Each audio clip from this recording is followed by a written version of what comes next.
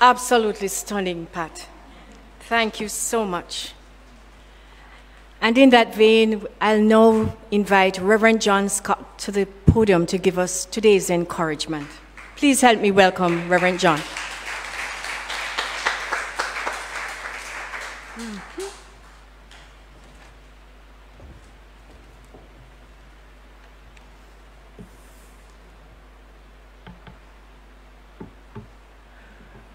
The only other time in our more than 39 years that I can remember that the temple had to be closed was in 2004. At that time, renovations were being done, and I knew it was for a specific time and with a specific outcome in mind. So there was a sense of excited anticipation. Over the past three months, with our forced closure, I have come to realize how very, very much I identify with our spiritual home. I mean the physical structure itself, the environment in which it is set, the gardens, and above all, the spiritual family that I have encountered and made here in this special place.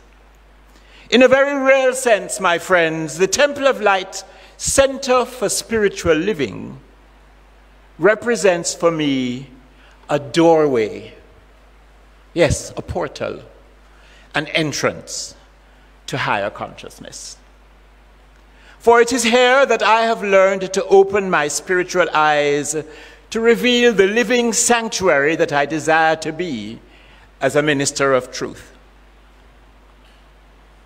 It is here that I have learned to accept people for who they are. My, my flatmate, Tony Henry, said something so profound the, the other morning. We were talking about issues and you know challenges that we have with the love streaming and getting it all together.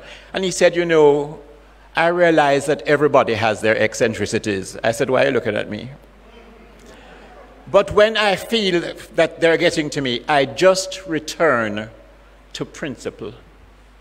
I return to the knowledge that everybody is a special and unique and beautiful creation of something that is greater than we all are. It's not just a lovely thing to, uh, to remind ourselves of. Everybody has their own little isms and schisms and ways. You too. And if you can just remind yourself that, yes, here is another child of God like myself on a pathway. Let me open the door of my heart and let them in. Let me open my consciousness and listen deeply from here instead of just thinking about what's the next smart thing I'm going to say to put them down. Can I make people, even when I'm correcting them, can I find it within myself that when I've made that correction, they leave my presence feeling uplifted and like valid, valuable, and authentic members of this community rather than feeling put down and that, wow, I've messed up again.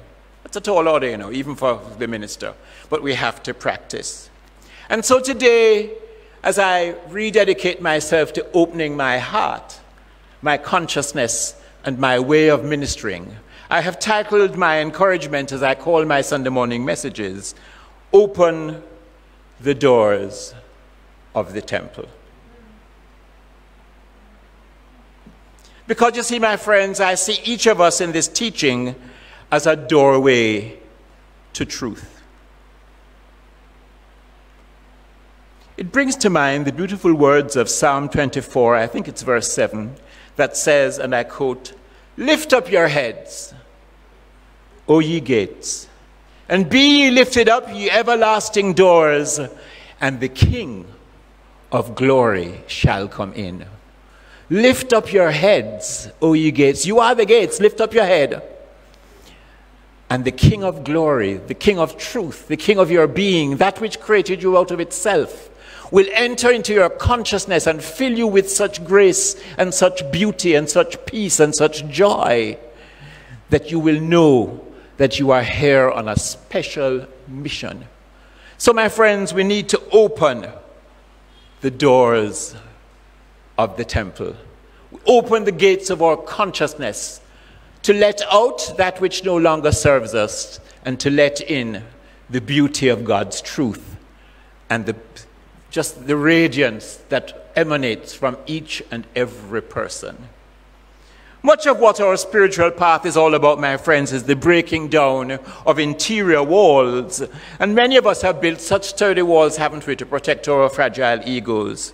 We have built walls of fear, walls of doubt, walls of resentment, and walls of self rejection.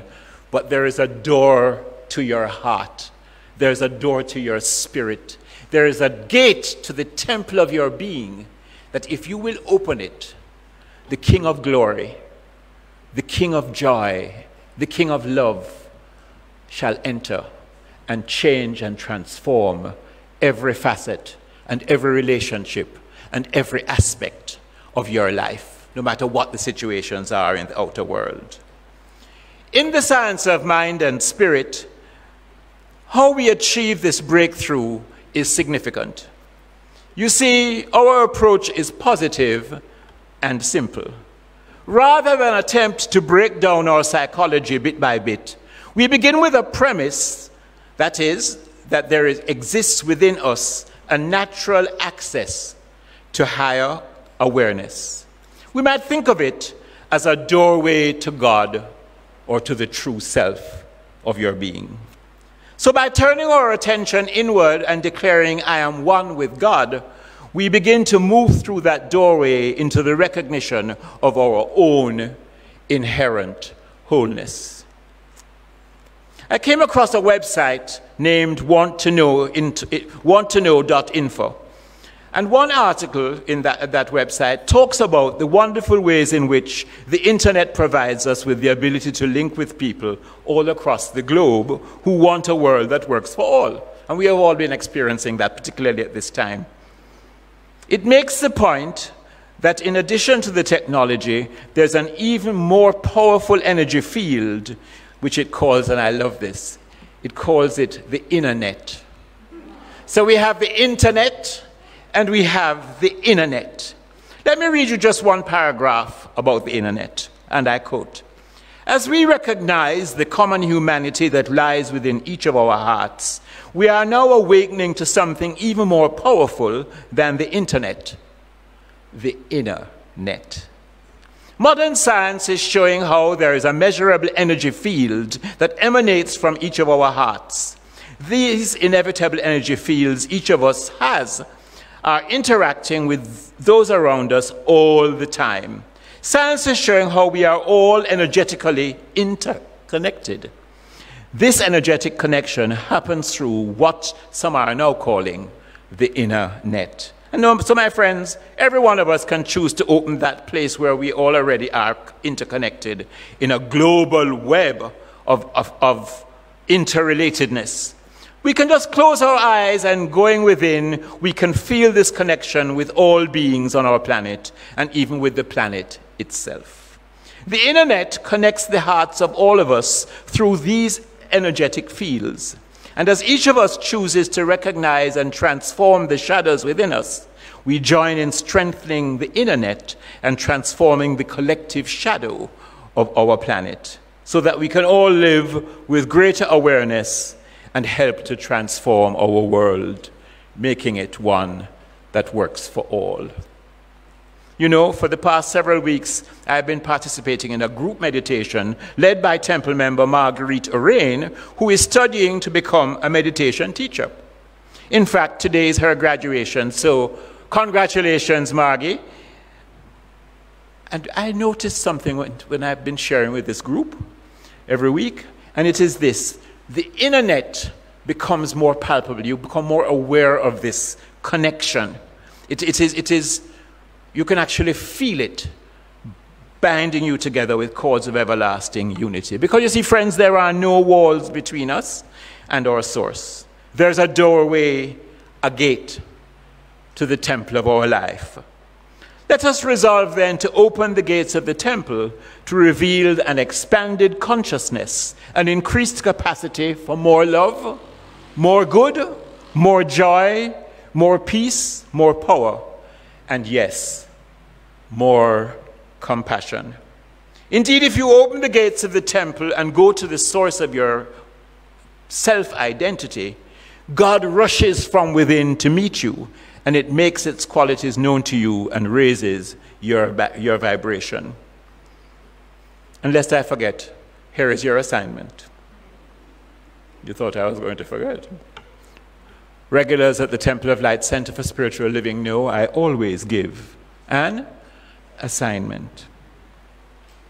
And here's what I want you to do this week I want you to set your intention to strengthen your inner net and you're interconnected with friends and loved ones by inviting at least two people who are not familiar with our teaching to join you for a watch party to view our spiritual mind healing service this Tuesday evening at 6 o'clock uh, Eastern Standard Time. Our speaker will be Reverend Ann Shand, whose inner net is well grounded in spirit. And if those you invite are not familiar with our teaching and they want to know what to expect, tell them that our ministry is based on the spiritual gifts upon, upon which Jesus, the way shower, based his ministry. And those gifts are prayer, teaching, healing, and holy fellowship. Prayer, teaching, healing, and holy fellowship.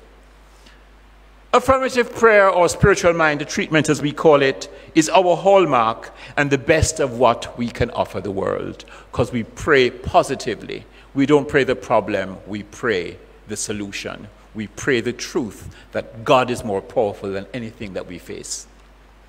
And in the area of teaching, we like to we take great pride in the outstanding spiritual education available in our classes, and even greater pride, perhaps, in the greatest thing we teach here at the Temple of Light, which is love. Because when you open the gates of the temple of your heart, that's what you find pouring out from you in, in, in streams of light and, and love and joy. Love, which transforms all things unlike itself. And then healing takes place not just in our physical bodies, but also in the body of our affairs. And the Holy Fellowship, which has been particularly, for me, strong over these past few months that we've been able to touch physically, I have felt a closeness and a, a, a bonding with people as we have reached out our circle of love calls. People have been calling each other and just saying, How are you? And you're in my heart and you're in my prayers. So, in, in this holy fellowship, we embody the practice of beholding the Christ in each and every person. I had a powerful experience of that um, on Friday afternoon when I, a policeman stopped me um, at the intersection near to where I live. The minute he stopped me, I knew why. I had licensed the car for the next year, but I had not put on the disc. I was waiting for some alcohol to, to wipe off the old one. So it was in my papers, but it wasn't on. And he said in the gentlest voice, he was wearing a mask, When you turn the corner, would you just please pull over on the left? So I did. And he said, Can I see your, your papers? And I gave him my license and the papers. And he said, oh, I see you live, you live close by here. What do you do? And I said, I'm a minister of religion. I can pray for you, you know. And his eyes were twinkling above the mask. You know, it's, it's lovely now that you can't see people's um, full face, look into their eyes. It's amazing. They really are the windows of the soul. And so I never took my eyes off of his. And as he was opening my papers, out fell the disc. And he said, Aha, this is why I stopped you. And I said, Yes, you know, I've, my bad, my bad. I've been wanting to use some alcohol to wipe the windshield, but all I have at home is vodka, and I have other ideas of how to use that. So I was just heading to the pharmacy to buy some rubbing alcohol. And he said, he was so sweet, he said, let me put it on for you. There are some police at the other stop sign and they're going to stop you. And he slipped into the, the passenger seat beside me and affixed the disc to my windshield. Wow. Talk about internet connections. Eh? I said, why him wasn't one of them that did stop Floyd? What him named them? So, you know, my friends, when you practice this opening up of yourself, when you take off the mask, not the one on your face which you must wear uh, to protect others and to protect yourself, but that mask that you have around your heart so that people can see your vulnerability and who you really are, and that you are willing to stand up and say, I am love. Simia, just, just, just use all the love you need right now. Use all the love that you can, you can, you can mine from the, the depths of my own being. You, just fish it out like you do a, a bucket at a well and drink deeply of the love that I offer from the chalice of my own life in the temple of my own existence. I'm willing to be open so that you can come in and we can fellowship in that holy coming together, which is our only reason for walking this path known as the science of mind. And so, my friends, the Association of Global New Thought puts it like this, and I love this imagery. They say, and I quote, Our awakened world is a chalice holding the consciousness of its people, unquote. Wherever you are across the world, my friends, let us open our hearts and minds and consciousness to be the holy and waiting human chalice containing the entire world and all its people with an all embracing love. That is our mission for the next 39 years. But let us just do it for the next day. One day at a time, we will allow our hearts and our consciousness to be open so that the lights that we shine will illumine the world until there are no dark places. Let us say together Today I dismantle the walls of fear and doubt. Together. Today I dismantle the walls of fear and doubt. Today I put on the mantle of my greatness. Today I put on the mantle of my greatness. I open the doors of my consciousness and step into the truth of my being. When people see me, they see the one that sent me. When people see me, they see the one that sent me. For each of us is a temple of light. And finally, today, we open the gates of the temple, and to God be the honor and glory. And today, we open the gates of the temple, and to God be the honor and glory. And so it is. Namaste.